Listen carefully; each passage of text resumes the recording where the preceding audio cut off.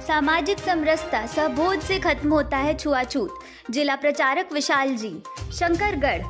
सरस्वती शिशु मंदिर, पंखा टोला में राष्ट्रीय स्वयंसेवक संघ द्वारा मकर संक्रांति पर्व पर सामाजिक समरसता सहभोज का आयोजन किया गया।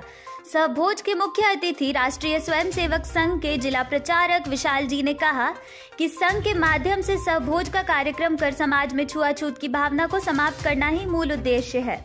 सहभोज में सह जिला समन्वयक कैलाश जी, जिला प्रचारक विशाल जी, खंड कार्यवाह नरेंद्र गुप्त, प्रधानाचार्य रामानुज गुप्त सह संयोजक शैलेंद्र मिश्रा सभासद सुजीत केसरवानी, मूलचंद गुप्ता, रतन केसरवानी, अवधेश त्रिपाठी, रोहित केसरवानी, मुकेश पाठक आदि शामिल रहे।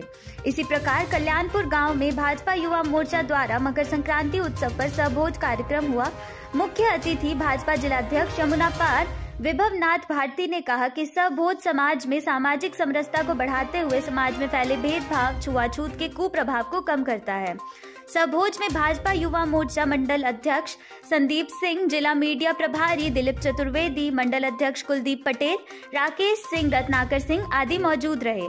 इसी प्रकार जारी क्षेत्र में मकर संक्रांति का पर्व हर्षोल्लास के साथ मनाया गया। सुबह से मंदिरों में पहुंचकर लोगों ने पूजा अर्चना की और तिल गुड़ के बने लड्डू भी भगवान को अर्पित कर प्रसाद ग्रहण किया। परंपरानुसार लोगों ने जमकर पतंगबाजी भी की।